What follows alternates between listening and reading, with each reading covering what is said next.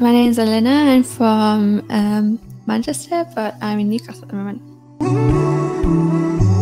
It was just a few months ago, actually, around December, when I brought um, a Muslim acquaintance of mine and I took Shahada there. Um, it was just near a mosque, but not actually at the mosque, which is a funny story. I had no plans originally to take Shahada, and it was just a very spur of the moment thing. I think things clicked for me, and a lot of the research I'd been doing just clicked, and I just decided to take it, even before I got to the mosque.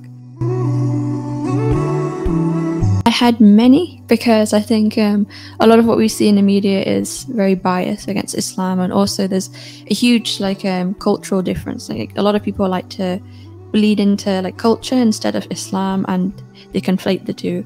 So once I learned that you know this part is culture, which part is Islam, then um, I start to understand what Islam is really about. Um, mixed feelings. So it's um, a lot of it was like happy um, that I had found something that I think um, gave me a grounding in life, a perspective, a new perspective on life, and understanding, you know, my purpose and morality and where everything comes from, what's the meaning of things. Um, but a lot of it was also a bit, um, the negative side, I guess, was how do you explain that to your family?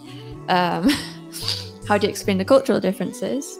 How do you explain the differences between scholars and the different madhabs? And there's also like, how do you implement that in my life? There's a lot of research to do. So, yeah. Well, I've always been fond of history and I'd also knew a bit about Christianity. I also went to Catholic school before, and I also knew a bit about Judaism because I was really interested in researching about it. And it's when I learned that there is these Islam basically encompassed all of it for me, and it made it click. It made it make sense. And when I read the history about it as well, um, it made a lot of sense, especially from the Bible when they're talking about the prostration and what we call sujood, bring your head to the floor. That was one key sign that um, Muslims were doing something correct.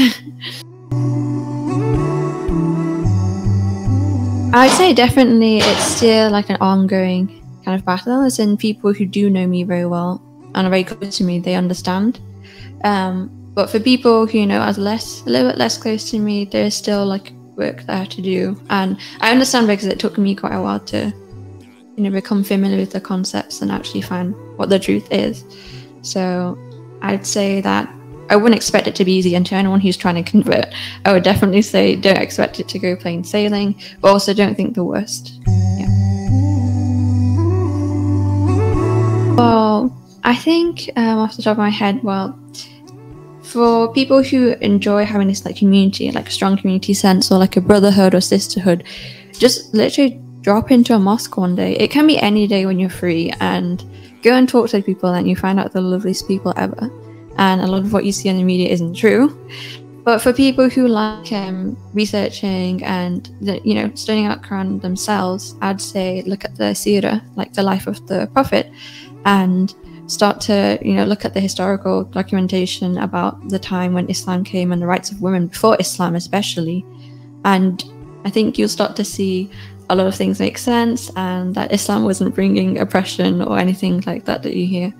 So yeah. I found out through a friend of mine on who I met along my journey, and she um, was really lovely, kind, beautiful person, and she introduced me to IRDC that gives dawah, and they invite and welcome even non-Muslims to learn about Islam, and it's really beautiful thing. So I think um, if you have something like a dawah center near you, or you know um, somewhere you want to pop by and chat and ask questions, then definitely go.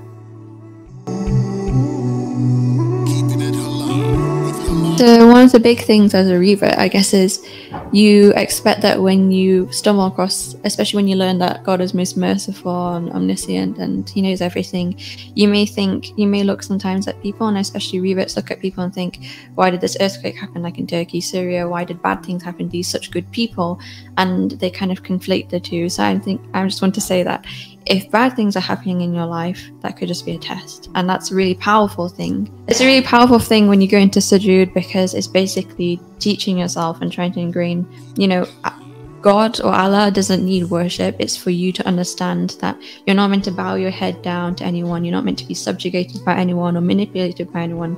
Like anyone, meaning your boss, so anyone in your family, in laws. It doesn't matter what kind of rights they think they have over you. They don't have it unless the Quran or Sunnah states it explicitly. And that's a very powerful thing to have.